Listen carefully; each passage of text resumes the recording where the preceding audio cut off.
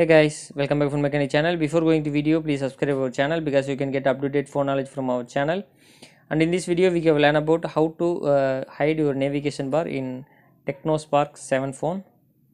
And then here we go. First open the setting. Then press the system option.